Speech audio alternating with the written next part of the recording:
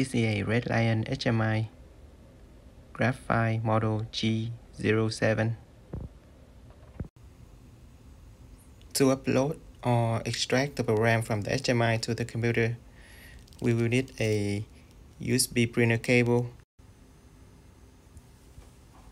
This USB type A will go to the computer and this USB type B will go to the HMI.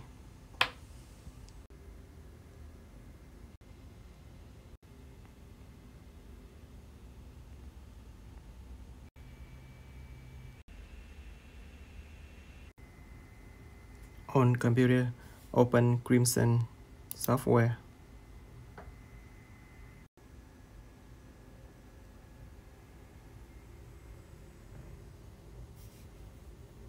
Go to link.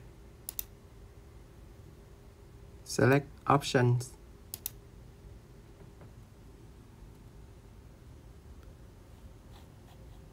In link options, select USB.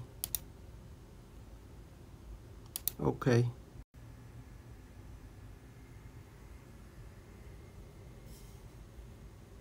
Go to link again. Select extract.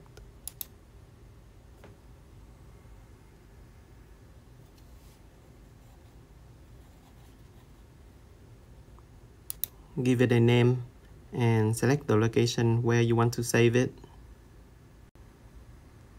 Program extracted from HMI. Save.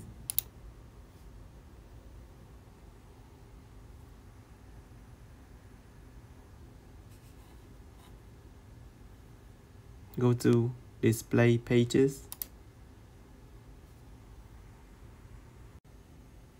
Program successfully uploaded or extracted from HMI to the computer.